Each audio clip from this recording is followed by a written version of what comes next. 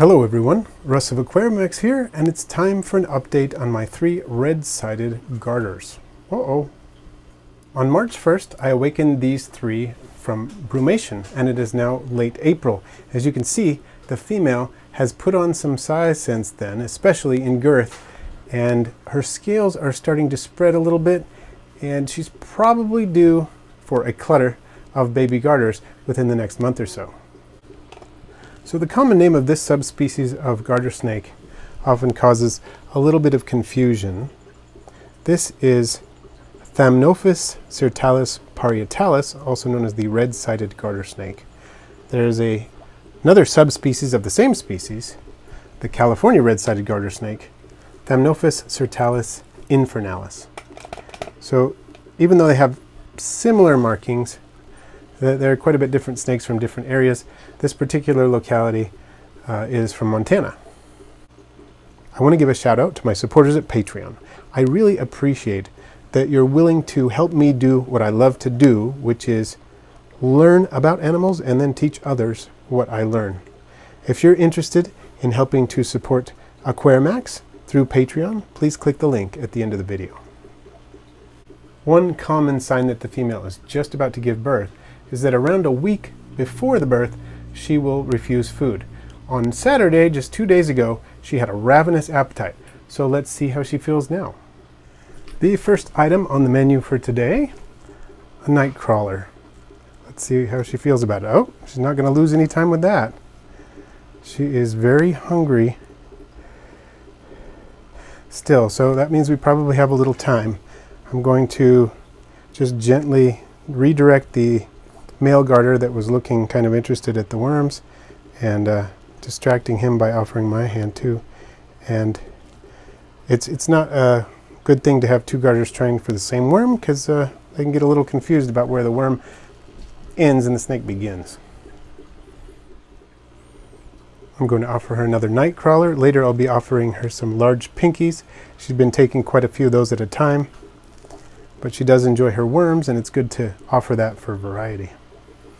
I often dust the food with calcium, not every time, and this is one of those times where I don't. It's a good idea to alternate between dusting the food with calcium and vitamins and then not dusting it at all.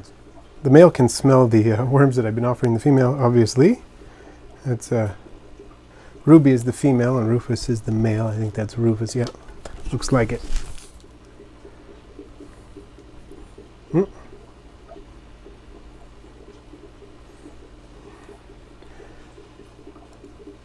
She's uh, feeling a little uncomfortable. That the male is smelling her worms on, on her that she recently ate. Oh, dropped the worm there.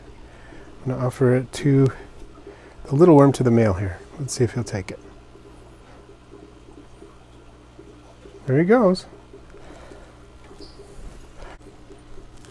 I'm going to go ahead and offer Ruby this small worm because she's excited about eating, so might as well. Maybe this guy will take some up here.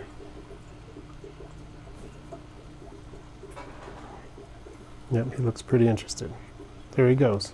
Got one of them. Wonder where Houdini is. He's not particularly in evidence right now. He's usually pretty excited about dinner, just like the rest of them, so kind of out of character for him. Oh, I see him. He's in the back. Maybe you can see his reflection in the bottom, in the top left quadrant there a little bit. The side glass. He'll probably show up in a second. Okay, Ruby. There's the last worm. If you're into it. Of course you are.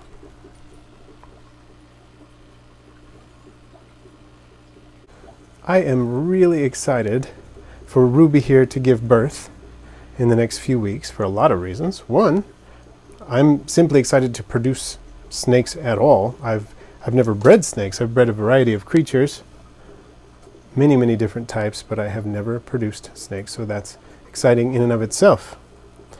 Another aspect of excitement for me is that I raised these snakes from month old or approximately month old little neonates I got from Don's garter snakes. And so seeing the cycle complete itself is fun as well.